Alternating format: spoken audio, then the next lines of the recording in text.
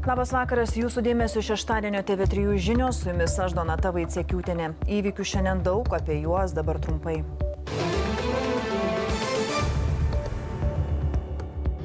Siaubo diena Izraelyje. Hamas kovotojai į šalį paleido tūkstančius raketų, o šimtai ginkluotų kovotojų užplūdo Izraelių miestų gatves. Iš pasalų užpultame Izraelyje prasidėjo masinės žydų žudynės tiesiog namuose ir gatvėse, o kariai paimti nelaisvę. Izraelis apkaltino Hamas pradėjus karą ir smogė atgal, abiejose pusėse žuvusieji skaičiuojami šimtais, o sužeistieji tūkstančiais. Mes yra tikri Baltarusijos patriotai. Kreipiamės į Lietuvos žmonės. Internete pasirodė vaizdo įrašas, kuriame litvinistais prisistatę vyrai grasina Lietuvos politikams, reikalauja nustoti persekioti Baltarusius ir aiškina, kad LDK buvo Baltarusių, o ne Lietuvių valstybė. Susidūsite su mūsų tautinė valstybė ir jūsų namai užsitęs. Manęs tokiais veiksmais neįbaugins.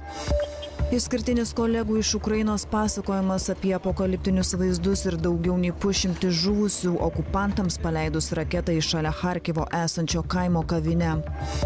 Nesumokantys už automobilio stovėjimą vis rečiau visi suks, didmiešiai griežtino kontrolę, pažeidėjus fiksuoja kamera esanti ant automobilio. Per valandą gali tūkstantį automobilių patikrinti.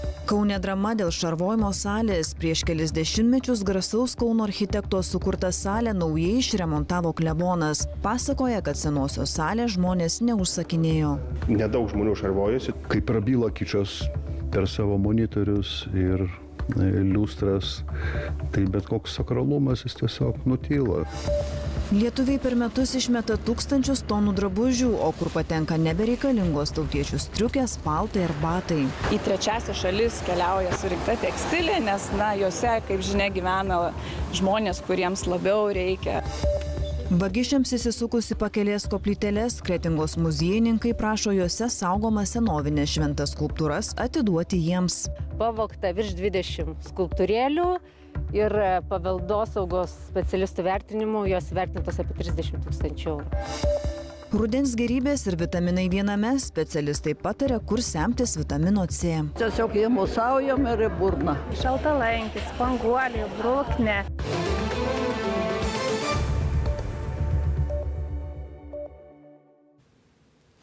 Siaubo diena Izraelyje.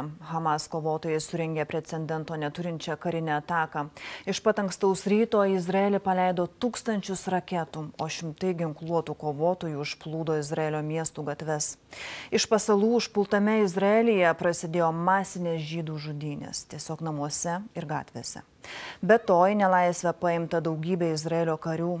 Izraelio premjeras nedelsdamas paskelbė, prieš jo šalį Hamas pradėjo karą ir ėmėsi atsakomųjų smūgių gazos ruožui.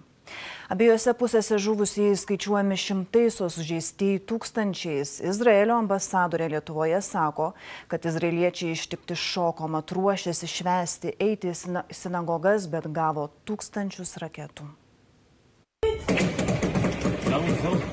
Iš lovų šį rytį išversti Izraelio gyventojai